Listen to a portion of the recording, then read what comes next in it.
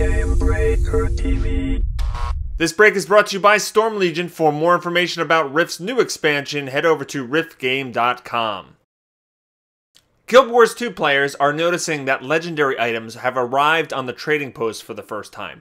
Now, these items are selling for thousands of gold, but it brings up the question should they actually be available on the trading post at all? I think popular theory suggested that these items would be soul bound or account bound, and apparently they are only account bound once you actually equip them and use them. Um, this brings up a lot of arguments from other players about is this now pay to win? Now, technically, I don't think anything in Guild Wars 2 is, is pay to win. Uh, these items, you know, don't have higher statistics than other weapons. You can spend a couple gold and buy an exotic weapon off the trading post or craft one yourself, and it will have the same statistical value as a legendary. But they do look really cool, and they do offer a, a lot of prestige, and it starts to bring up the question, should these items be available on the trading post? Now, of course, amassing several thousands of gold is no, uh, is no small feat. You'd have to spend a lot of time in game uh, earning that coin or spend a lot of real world cash in order to purchase that much gold. But uh, it does bring up the question should they be allowed um, on the trading post at all? Should they be something that is bound to the account that created them? Or should it be available if you have that much uh, money and you're or you're willing to spend that much money on the game? Should these items be something that you can obtain? Let me know what you feel in the comments below. The community's talking about this at great length now.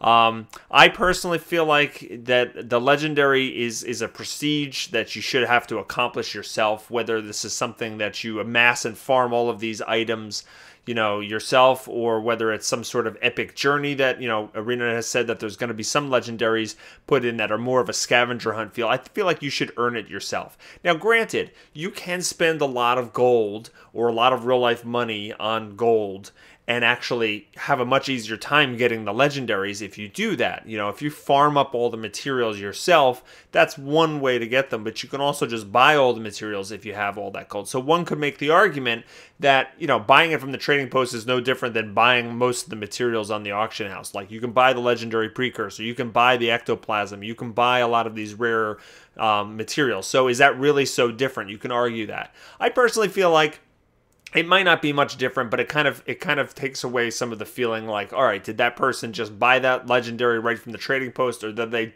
you know make make all of the items that they needed. Did they make all the gifts that they needed to in order to acquire it? Let me know what you think in the comments below. Lots of people are upset about this. Lots of people talking about what should they do.